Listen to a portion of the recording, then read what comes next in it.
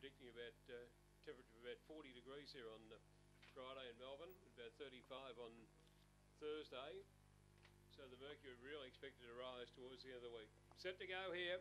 Favourite in two, ready and racing. Morris Minor slow to begin away fast. It would have been Dinaralia out in the centre. Morris Minor is second last around the first turn as they turn to the back straight here. And going around the outside, Cavatron hit the front. In second spot would have been Organ Mishap. Now Morris Minor got a Pratt there and lost some ground. And going down the back straight on Cavatron about four or five clear. Over on the inside there came Miss Innings followed then by Organ Mishap. Morris Minor back on the inside, drifting back at that point, followed by Dinaralia and Garrido. But Cavatron's nicely clear. Miss Innings drives, but Cavatron beat Miss Innings. The gap way, Organ Mishap though, followed then by Dinaralia Garrido, followed by Morris Minor in trouble down the back straight and back at the tail, Venus Allen.